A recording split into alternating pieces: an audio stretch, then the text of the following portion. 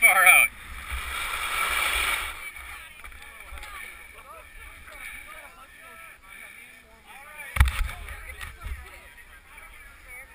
Five years old?